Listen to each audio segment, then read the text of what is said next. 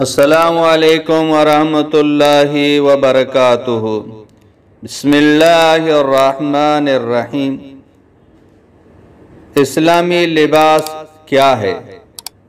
کیا سلوار قمیض، یہ اسلامی لباس ہے؟ عبد الشکور کراچی سے۔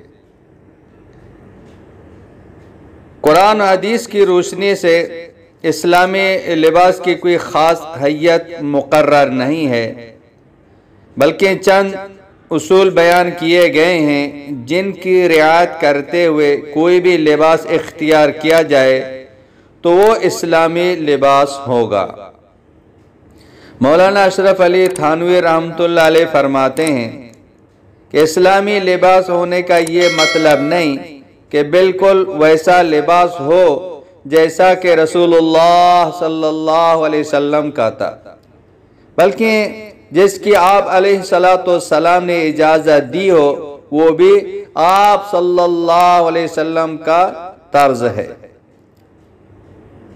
اسلامی لباس کی چند شرائط ہیں۔ نمبر ایک، لباس اتنا باریک یا چست نہ ہو کہ جسم جھلکے۔ نمبر دو، لباس میں کافروں یا فاسقوں کی نکالی اور تشبہ نہ ہو۔ نمبر تین، ایسے لباس سے اجتناب کیا جائے جس سے تکبر اور اسراف کا اظہار ہوتا ہو۔ نمبر چار، شلوار، تہبند اور پاجامہ وغیرہ اتنا نیچے نہ ہو کہ ٹخنے یا ٹخنے کا کچھ حصہ چھپ جائے۔ نمبر پانچ، مردوں کے لیے اصلی ریشم پہننا حرام ہے۔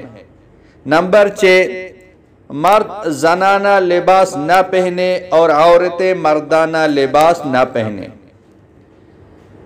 آپ کے، آپ کا دوسرا سوال اور اس کا جواب، قمیص اور شلوار اسلامی لباس کے طور پر متعین تو نہیں ہے لیکن آپ صلی اللہ علیہ وسلم کا قمیص پہننا اور شلوار خریدنا احادیث مبارکہ سے ثابت ہے۔